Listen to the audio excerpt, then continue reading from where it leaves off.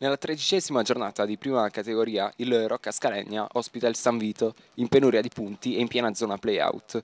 I padroni di casa, reduci dalla prima sconfitta stagionale, il 2-1 di Orsogna, vogliono tornare a vincere per riavvicinare la capolista Real San Salvo. I roccolani prendono subito il panino del gioco e al sedicesimo Pepe spreca malamente su servizio di Padolecchia. Al ventiquattresimo il gol dell'1-0. Il cross di Padolecchia, Pepe mette fuori gioco il portiere Rullo e tapin vincente di Gian Giulio. Il raddoppio del Rocca Scalegna al 32esimo. Spiovente di Carunchio, la sponda di Pepe per capitano di Donato che insacca. A riaprire provvisoriamente la gara ci pensa Della Pelle che due minuti dopo sorprende spaccata De Iulis. Autogol e il San Vito accorcia le distanze. Il tempo di ripartire è ancora Padolecchia che serve Pepe che resta freddo davanti al rullo e mette dentro per il 3-1. Vibrate le proteste ospiti. Al 44esimo, sempre di Donato, dormita del San Vito e Padolecchia fa 4-1. Nel recupero la rimessa laterale di Ezzi per De Iulis, leggerezza del portiere che fa crambolare la palla su Altobelli che ringrazia e segna 4-2. Nella ripresa però sono ancora i padroni di casa a fare la partita e al diciannovesimo su cross dello scatenato di Donato c'è Pepe che stacca di testa, la palla resta lì ed è ancora lui che, lesto più di tutti, segna. La timida reazione degli ospiti c'è solo al 36esimo con Altobelli, ma stavolta De Iulis si riscatta e blocca in due tempi. Nel finale poi c'è gloria anche per il neoentrato D'Agostino che segna dopo il cross di Barroso e una prima battuta di Pepe. Partita senza storia, Rocca Scalegna che torna alla vittoria con un tennistico 6 a 2.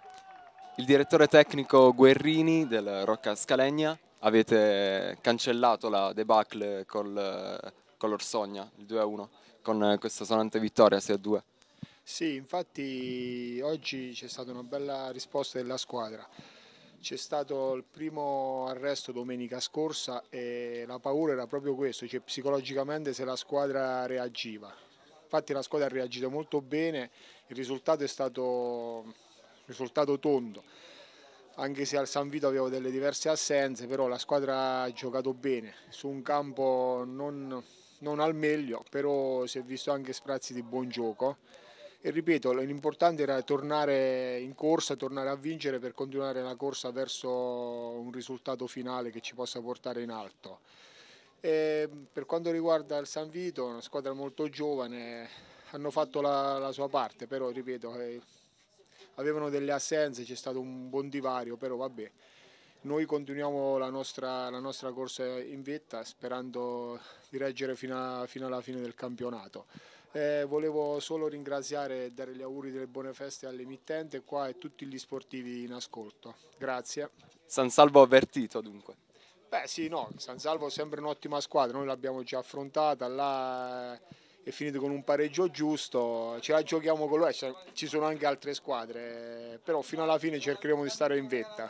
Tecnico del San Vito, Cassano, come mai questa battuta d'arresto così sonante? Ma non dico che ci aspettavamo, però insomma siamo venuti qui abbastanza rimaneggiati, già con eh, parecchi squalificati e con qualche infortunato.